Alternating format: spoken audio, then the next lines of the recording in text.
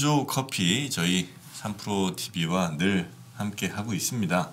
네, 지금 벌써 한 잔 다 드셨는데 아 이거 좀 놔뒀더니 냉 저기 됐네 아이스 커피가 됐네 날씨가 엄청 추운가 봐. 오늘 영하 12도까지 아니 원래 원래 이 정도면 갖고 들어오면 뜨뜻했거든.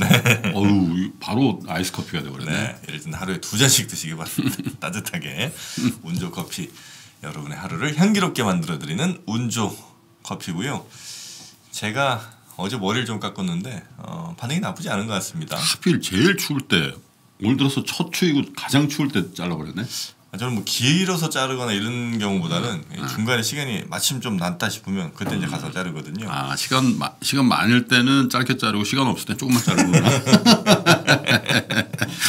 자 오늘 뉴스 3. 야 드디어 또 아주 그 다이나믹합니다 여기는. 그러니까 이거 네. 아침 드라마가 거의 뭐 안진과 분쟁이 뭐 참. 점입 가경인데 이제는 국민연금과 개인 투자자 소액주자들 네. 캐스팅권을 갖고 있다면서요. 그래서 오늘 이제 김지훈 박사님을 원래 목요일 날이었는데 어제도 예고해드렸지만 그 미국 그 예? 아이오와 코커스. 코커스가 지금 네. 그 난장판이 돼버려가지고 지금 아직 결과가 지금 62% 개표 결과까지 이제 전달이 되고 있는데 아마 저희 그 아침 라이브가 네. 우리나라에서 최초로 real time으로 아마 받아서 음. 네, 전문가 인터뷰를 하는 매체가 될 것 같아요. 아, 미국 아이오와 코커스를 그렇지 지금 막 계속 개표하고 있는데 음. 지금 뭐 제가 오- 저 들어오기 전에 공중파 포함해서 보니까 대부분 현지 리포트를 잘 못하잖아. 그렇죠. 이제 CNN을 위주로 해서 우리 김지훈 박사 전문가니까 그 음. 얘기를 좀 이따 들어보고요. 어쨌든 한진 칼의 경영권 분쟁이 네. 정말 그 뜻밖의 상황으로 계속 에, 벌어지고 있는데 어머니 이명희 정석기업 고문하고 에, 조원태 회장의 동생이죠 조현민 한진칼 전무가 원래 중립적이거나 어쩌면 에, 조현아 부사장 쪽에 쓰는 거 아니냐 왜냐하면 예전에 뭐 작년 말인가요 뭐 골프채로 골프채 뭐 이런 뭐 엄마하고 엄청 싸웠다 뭐 이런 얘기들도 때려부시고 뭐 이랬다고 있었 있었는데다가 아. 이 반도건설도 사실 이명희 고문하고 관계가 있지 않냐 뭐 네. 이런 이제 기자들 보도가 있었기 때문에 야 이거 조원태 회장 안 되겠는데 그랬는데 역시 모정은 아들한테 가나요? 예? 그 여동생하고 네. 예, 어머니가 이제 조원태 회장의 손을 이제 들어줬는데도 불구하고 맞다리죠 누나죠 에, 조현아 전 부사장은 나는 나의 길을 간다. 그래서 현재 그 지지 아 지지랜다 그 지분의 어떤 그 입장 차이를 그 나타내주는 그 차트가 하나 있는데 그걸 하나 띄워주시면 아주 간명해. 지금 보이시죠? 한진그룹 경영권 분쟁 구도인데 보시면 조원태 회장 쪽에 우호 지분이 33.45%다 이렇게 돼 있어요. 그러니까 당연히 이제 본인 6.52%고 네. 이명희 고문이 5.31, 그 다음에 동생이죠 조현민 한진칼 전무가 6.47% 이게 이제 가족이고 그 다음에 델타항공 백기사라고 여겨지는 델타항공이 10%가 여기는 있고. 확실히 근데 조원태 편이에요. 저거는 그럴 거예요. 왜냐하면 아. 현경영진 뭐 물론 뭐 뚜껑을 열어봐야 되겠습니다만은 어쨌든 에, 조양호 에, 회장 때부터 그리고 이제 쭉 그 관계를 맺어왔고 저 스카이팀 멤버죠. 네. 그리고 이제 카카오가 1% 조금 넘게 그리고 재단 등 특수관계인 저거는 이제 에, 재단까지도 조은태 회장의 장악력이 있다라고 보여지기 때문에 4.1%예요. 이렇게 해서 34.45인데 조현아 아, 전 부사장의 우호 지분은 현재 31.98%로 분류가 돼. 본인 6.49에다가 강성구 펀드라고 얘기가 되고 있는 KCGI가 11.29. 그 다음에 이제 반도건설이 8.28 이렇게 돼 있어요. 네. 그래서 나머지가 어디냐? 그럼 국민연금이 4.11%고 그리고 에, 정프로와 같은 정프로가 있지는 않습니다만 개인 투자자로 분류되는 게 30.38인데 저 개인 투자자라는 데에는 사실은 좀 차트가 잘못된 거예요. 왜냐하면 저 개, 30.38 중에는 에, 기관, 기관. 투자가들, 음. 기관 투자가들도 이제 나눠서 가질 수가 있겠죠. 네네네. 근데 이제 신고할 만큼의 지분율이 없기 때문에 아마 저렇게 분류가 돼 있는 것 같은데 그러니까 차이가 뭐 한 1%좀 넘게 네. 지금 저그 구도대로라면 되는데 1.47% 포인트 차라고 하는데 저 정도면요 현장에서도 역전될 수가 있어요. 그리고 지금 그 조현아 부사장이 배수의 진을 친 게 나는 경영에 에 나서지 않겠다. 그러니까 직을 갖지 않겠다라고 네. 얘기를 한 거니까 사실 국민연금이라든지 기관 투자가 혹은 뜻이 있는 이제 개인 투자자 입장에서는 야 지금 에, 조원태 회장을 비롯한 여기는 내부 이제 다 그 직을 유지할 거 아니겠습니까? 그러면 아 차라리 전문 경영인 나와 가지고 뭔가 혁신하면은 더뭐 주주 가치가. 더 올라가지 않겠나 이런 생각을 할 수도 있어요. 근데 네. 지금 현재 국면에서는 캐스팅 보트를 국민연금이 가지는 형태가 됐잖아요. 4% 넘게 네. 있으니까. 그러면 국민연금이 과연 어디? 왜냐하면 국민연금은 말씀드린 것처럼 지금까지 계속 조은태 부회장 불신임을 했거든. 근데 반대쪽으로 보면 또 조현아 아, 부사장이 몇 년 전에 그 땅콩회항으로 나라가 들썩였죠. 굉장히 사회적인 무리를 일으켰는데 거기에 손. 여기를 또 손을 들자니 이게 좀 난감한 거고 물론 그래서 어쨌든 3월 셋째 주 금요일 내지는 넷째 주 금요일 날 주총. 예, 주총이 있을 것 같아요. 지금까지 보면은 계속 그랬어요. 3월 셋째 주 아니면 넷째 주 금요일이니까 올해도 보면 3월 20일 아니면 27일이니까 네. 한한 달 반 정도 남은 셈이죠. 에, 그때 이제 가야 되는데 아주 치열할 겁니다. 에, 이제 나머지 기관 투자가들 또 에, 대체로 이제 주주 명부에 보면 거액 그 투자자들로 이렇게 분류되어 있는 분들에게 네. 무임장 이제 좀 주십시오 이렇게 하는 이제 양측에 이제 되게 치열해 보이는데 정말 뚜껑을 열어봐야 되겠어요. 왜냐하면 이게 통상 가족 간 경쟁을 하면은 대체로 가족이 많은 예, 지금 형국으로 치면 조은태 예, 회장과 이명희 고문, 예, 조현민 전무 속- 이렇게 속해 있는 왜 이게 전통적이거든.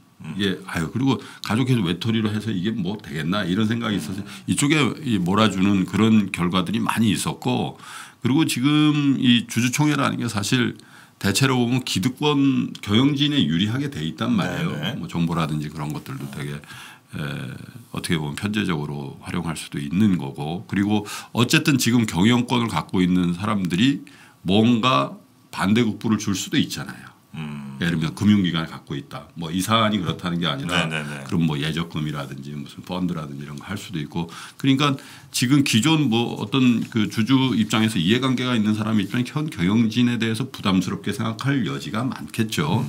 그런데 이 상황은 워낙에 이제 그 팽팽한 구도에다가 그리고 이제 강성부 펀드가 17.29 단일 주주로선 최대 주주란 말이에요. 네. 근데 여기 또 선수들이잖아요. 그러니까 어떤 모종의 또 이 경영권 분쟁에서 유리한 고지를 하는 그 안에서 물밑 작업이 엄청 되고 있을 거라고. 지금 30.38로 분류되어 있는 에, 일반 투자자 네. 기관을 포함해 일반 투자자 이 안에서도 뭔가 숨어 있는 있을 가능성이 많지 않겠어요. 사실 우리는 이 지금 주주 명부 폐쇄 기준 일 그 주주만 알고 있는 거지. 그 다음에 어떤 일들이 있는지는 되게 모르는데 어쨌든 조현아 부사장 전 부사장 입장에서는 경영에 나서지 않겠다라는 그 어, 약속이 네. 상당히 개인 투자자들이나 일반 저 기관 투자자한테는 매력적으로. 의미 있게 받아들여질 거다. 왜냐하면 경영, 경영에 대한 어떤 책임 문제에 대해서 지금 어떻게 보면 심판을 네. 한다라는 측면에서 보면 에, 뚜껑을 열어봐야 되겠습니다만 어쨌든 전혀 새로운 국면으로 갈 수도 있다. 갈 수 있다 이런 이제 기사가 나왔네. 근데 이제 이렇게 해서 주총을 했어요. 음. 그래서 조윤아 측이 이겼어요. 예를 들면. 그럼 이제 그 다음 프로세스는 이사회를 싹 바꾸는 거예요? 그렇죠. 지금 왜 문제가 되냐면 이번 정기 주주총회에서 네. 조원태 회장의 임기가 만료예요. 음. 네, 법정 임기가 만료라서 네네네. 새로 그러면 뽑아야 이제 되는구나. 새로 뽑아야 되기 때문에 아. 그럼 연임을 결정하는 투표를 해야 된다고. 음. 네, 그렇기 때문에 문제. 만약에 임기 중이라면 네. 사실 그 직을 유지할 수도 있고 이럴 텐데 음. 지금 만기가 됐기 때문에 이제 문제가 되는 거예요. 더. 근데 그러면 이제 싹 바꿔요? 예를 들면 지금 현재 뭐- 경영진은? 그럴 수 있죠. 예를 들면 네. 대표이사가 바뀐 다음에 어떤 경영권이 이쪽으로 넘어갈 경우에 네. 이사진들을 교체할 수 있는 이제 그런 이제 권능이 있을 수 있고 네.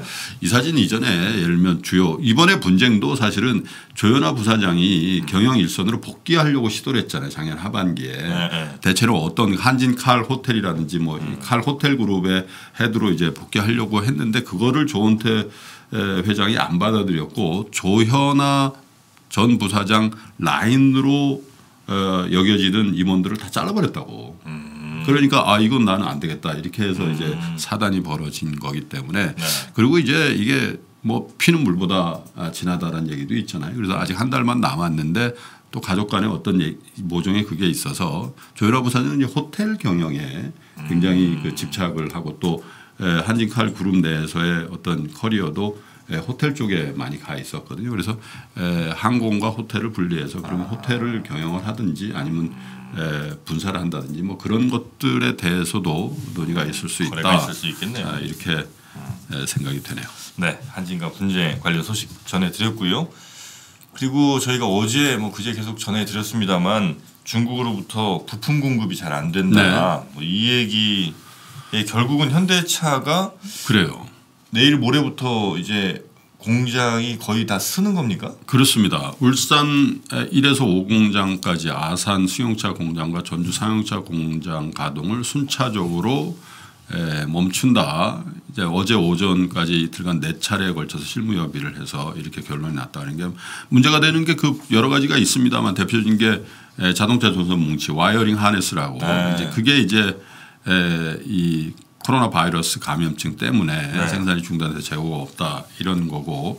노사가 합의를 한 게 국가적 재난 사태에서 임금을 더 받으려고 협의가 지연되는 건 문제가 있기 때문에 휴업 기간 중 급여는 평균 임금의 70%만 주고 받기로 했다. 이렇게 합의가 되기 때문에 이 공장 가동이 에, 일시적으로 중단되는 게 현실적으로 이제 네. 에, 됐다 이런 얘기고요.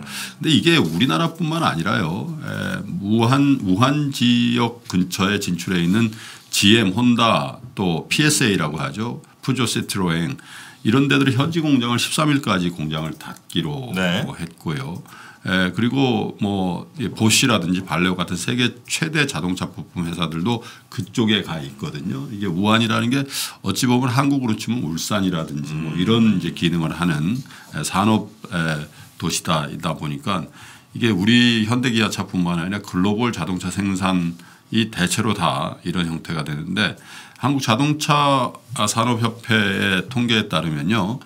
중국에서 생산돼서 전 세계로 수출된 자동차 부품 규모가 2018년 기준으로 348억 달러, 우리 돈으로 41조가 넘거든요. 이 정도 규모면은 아마도 에, 그 부품별 부품 단위별로 좀 차별 차이가 있겠으나 현대 기아차 같은 일들이 전 세계 자동차 회사에 거의 공통적으로 네.